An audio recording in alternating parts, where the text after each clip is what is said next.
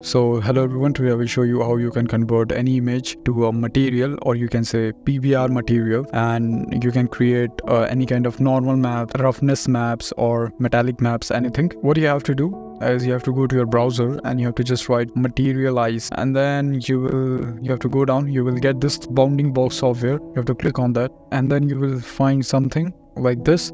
You have to download this thing for windows 64-bit so you will get this folder you have to open this one and there is a, a exe file you have to open this and you will see something like that okay so the advantage of this thing is like suppose i download some textures i will just uh, take this texture i will open this one and then I will just download this thing. What you have to do first, you have to go to the diffuse map and then there is an option of queue. You have to click on that and then you have to just go to your directory and you will see your image. You have to add your image to this one okay? So right now it is looking something like that. And to zoom in and zoom out you have to use your middle mouse button.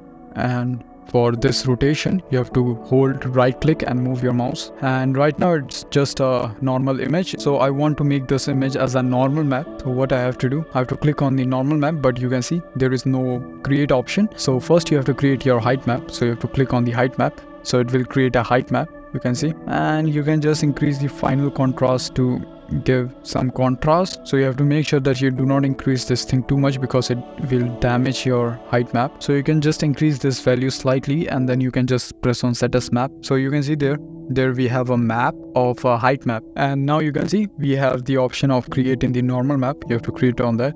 And you can see we have the normal map of that same image. If you want to leave this thing like that, you can leave it. I will just reduce some final contrast because it is too high. I will leave it like that and I will set as normal map, okay? And there are a few options also. If you need metallic, AO, ambient, occlusion, edge map or something like that, you can create this thing. But for now, I will just use this thing. After this, if you click on the show full material, it will look something like that. You see? This is creating the full bumpiness of the material like that and the rocks are popping out like this so if you want to change the cube map or you can say the HDRI of this thing, you can just click on the cube map.